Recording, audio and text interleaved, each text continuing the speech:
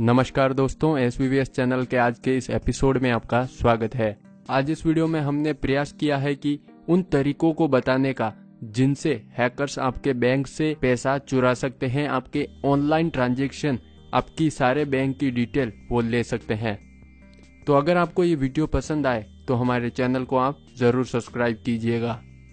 500 और हज़ार रुपए के नोट बंद होने के बाद ऑनलाइन ट्रांजैक्शन में बढ़ोतरी हुई है। पिछले कुछ समय से देश में ऑनलाइन शॉपिंग करने वालों की संख्या भी बढ़ी है। फ्लिपकार्ट और अमेजोन जैसी बड़ी ई कॉमर्स कंपनियों ने सेल के जो आंकड़े दिए हैं, वे बताते हैं कि ऑनलाइन शॉपिंग भारत में हिट हो रही है। शॉपिंग के अलावा ऑनलाइन बैंकिंग और बिल पेमेंट जैसे कई काम किए जाते हैं। इससे सुविधा तो होती है, मगर हैकर्स का खतरा भी बना रहता है। तो दोस्तों, चलिए जान लेते हैं कुछ जानकारियाँ जिनसे आप अपने बैंक की डिटेल, अपनी इंफॉर्मेशन को सिक्योर कर सकते हैं। हैकर से अगर आपको बचना है तो ये पता होना चाहिए कि वे आपका पैसा किस प्रकार चुरा सकते हैं। और उसके बाद हम आपको कुछ टिप्स भी बताएँगे। फ़र्स्ट है की स्ट्रोक लॉगिंग आप गलती से कोई सॉफ्टवेयर डाउनलोड कर लेते हैं जो चुपके से आपकी जानकारियाँ, नेट बैंकिंग के पासवर्ड कार्ड की डिटेल्स आदि हैकर्स को भेजता रहता है। इससे हैकर्स आपकी जानकारियाँ ले सकते हैं। जैसे कि दोस्तों, हम बहुत सी बार क्या करते हैं?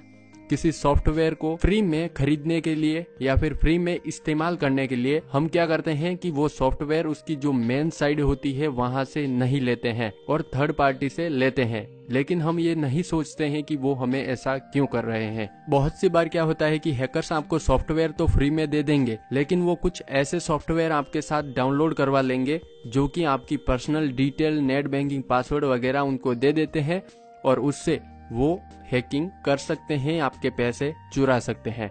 तो हमेशा ध्यान रखें कि आप जो कोई भी सॉफ्टवेयर डाउनलोड करते हैं इंटरनेट से तो वो सिक्योर साइट से ही करें।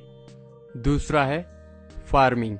इस तकनीक के तहत धोखाधड़ी करने वाले आपको नकली वेबसाइट पर ले जाते हैं, जो देखने में एकदम असली लगेगी। जैसे ही आप ट्रांजेक्शन करेंगे तो नेट बैंकिंग या कार्ड की जो भी डिटेल होती है, उसे हैकर्स चुरा लेते हैं और बाद में, और बाद में आपके पैसों को चुरा लेते हैं। दोस्तों, हमेशा ध्यान रखें, आप जो कोई भी वेबसाइट ओपन करते हैं या फिर आप सिंपली नेम से सर्च करते हैं, उस दौरान आप जो भी सर्च रिज़ल्ट आता है, उसके नीचे आपको वेबसाइट लिखी मिलती है। तो एक बार आप उस वेबसाइट को ज़रूर देख लें, उसका यूआरएल देख लें। आप ये चेक कर लें कि वो फ़र्स्ट एच से शुरू हो रही है या फिर नहीं उसके आगे लॉक का आइकन है कि नहीं। किसी भी ऑनलाइन शॉपिंग वेबसाइट पर अगर आप जाते हैं तो उसे एक बार अच्छी तरह से चेक कर लें, उसके बाद ही आप शॉपिंग करें। थर्ड है दोस्तों मेलवेयर हैकर्स ऐसा सॉफ्टवेयर तैयार करते हैं, जो एटीएम या बैंक सर्वर के कंप्यूटर सिस्टम को डैमेज कर देते हैं। इससे वे गोपनीय जानकारियाँ हासिल कर सकते हैं। तो दोस्तों, हमेशा अपने कंप्यूटर में एक एंटीवायरस आप ज़रूर इंस्टॉल रखें। अगर आप पैसे देकर कोई एंटीवायरस आप नहीं ले सकते हैं तो माइक्रोसॉफ्ट सिक्योरिटी असेंशियल जो आपके विंडोज़ पीसी होगा तो उसमें मुफ़्त में मिलता है। अगर विंडोज़ 10 है तो वो पहले से आपको मिलता है, सिंपली आपको उसे अपडेट रखना है और हफ़्ते दो हफ़्ते में, पाँच सात दिन में आपको अपने पीसी को स्कैन करना है, जिससे आपके पीसी में जो मेलवेयर्स होंगे वो हट जाएँगे और आपके पेमेंट्स की जो डिटेल होती है, वो सिक्योर रहेगी। फोर्थ है दोस्तों फिशिंग और विशिंग फिशिंग में आपको क्या किया जाता है? स्पैम मेल के ज़रिए बेवकूफ़ बनाया जाता है। आपको लगेगा कि ईमेल असली सोर्स से आई है, लेकिन वो हैकर्स द्वारा भेजी गई होती है। इस तरह से मोबाइल फ़ोन या एसएमएस के ज़रिए भी ऐसा किया जाता है। इन तरीकों को अपनाकर आपको फंसाकर आपके पासवर्ड या पिन अकाउंट हासिल किए जाते हैं। दोस्तों, हमने बहुत बार ऑनलाइन शॉपिंग करते हैं या फिर नेट बैंकिंग करते हैं तो उसमें दिया होता है। कि कोई भी पॉपअप आए आपको उसका रिस्पॉन्स नहीं देना है। तो एक बात मैं बता दूँ, अगर ऐसा कोई ईमेल आता है जो कि आपकी बैंक डिटेल लेता है या फिर आपको कोई ऐसा कॉल आता है जो कि आपकी बैंक डिटेल माँगता है, उस दौरान आप बिल्कुल भी ऐसा काम मत करें। भले वो आपको एक लाख रुपए की चीज़ एक रुपए में ही क्यों न देता हो। सबसे पहले आपकी रिस्पॉन्सिबिलिटी बनती है कि आप अपनी इंफॉर्मेशन खुद सिक्योर रखें। तो हो सके जब तक आप कहीं पे भी अपनी डिटेल बैंक की मत दें।